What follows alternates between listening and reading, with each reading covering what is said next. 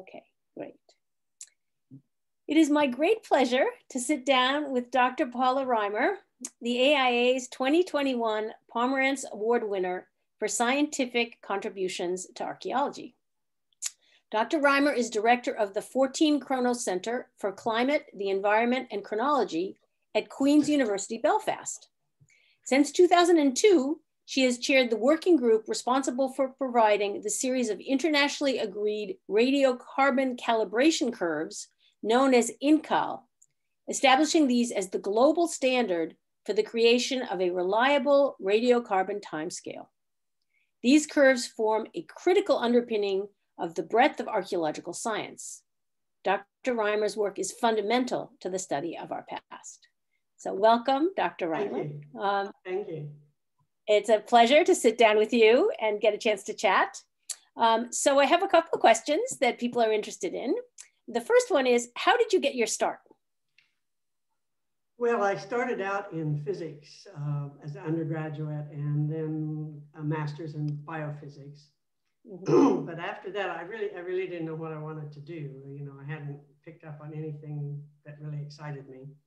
So my husband and I moved to Seattle, where he started his PhD there, and um, I taught at a community college for a bit. But uh, then I took a, a, a position with uh, Dr. Minze Stuiver in the Quaternary Isotope Lab as a technician.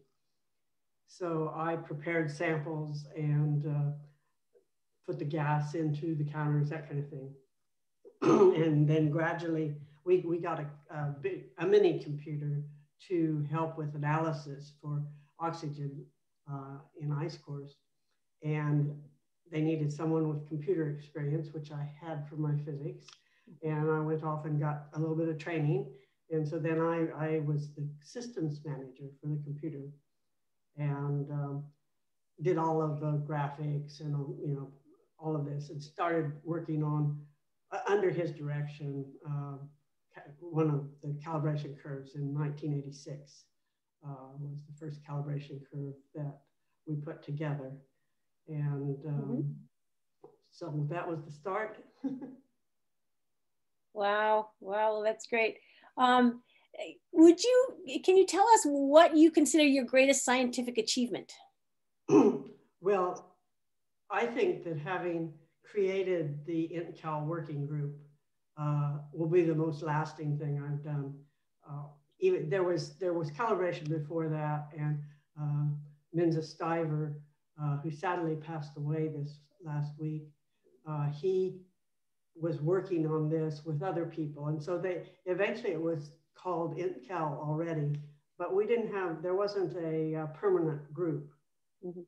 So I got a little bit of funding from Leverhulme Trust for some meetings and uh, an assistant to help with the database. And that's when we put together uh, the curve with, with the, the group. We put together the group. So yeah, that's it. Great. Great. Um, so what would you say has been your most fascinating discovery or work project to date? well, I've, I've worked with a lot of people doing exciting things, um, but really it's the IntCal working group again because I was able to work with oceanographers, atmospheric scientists, archaeologists, uh, statisticians, and learn so much from them uh, as we put things together over the over time. Uh, been, it's been really exciting. That that interdisciplinary aspect, yes, yes. Um, okay, well, what what would you say has been your greatest professional challenge? Um, setting up uh, AMS laboratory here, the Chrono Center, um, because it has both the science aspect, you doing research grants and all this, but there's the managerial part, the financial part, and uh, you know, keeping it afloat essentially has has been a challenge. Right, and and I I think people would be interested in also how you moved from Seattle to Belfast. Ah, yes. So tell us a little bit about that. Well, about the time that uh, Professor Stuiver retired, I, I just had gotten my PhD at that point. And um, so was looking around for something to do a postdoc, and one of the um, people that worked in calibration, Gerry McCormac, uh, um, I, I, wrote to him and asked him about a particular job that was someone else was uh, at the university here had offered or had advertised. And he said, You don't want that job. You want to come work for me. And I said, Okay. so I came and worked for him for three years on a postdoc. And then I went, um, after that ended, went to California to Lawrence Livermore mm-hmm. Labs. Mm-hmm. Right. The AMS there. Mm-hmm. And that, that's where I learned about AMS because always before in Minze's lab, it was gas counting. In Gerry McCormac's lab, it was liquid scintillation counting. Both of these are beta decay uh, systems. But then in the AMS is a direct measurement of the isotope values. And so that's what I, I learned while I was in California. And then um, Gerry and other people got money for an AMS system and asked me back. So okay. I came back to run the system. Okay, great. Now, for people who don't really know much about the science, can you tell us what AMS stands for? it's accelerator mass spectrometry. Okay, great. Um, Thank you. Thank you. That's, that's terrific.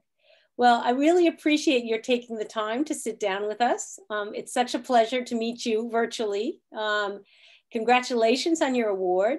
And I look forward to seeing you again virtually at the award ceremony um, in about 10 days. Okay. Thank you again. Thank you very much. Um,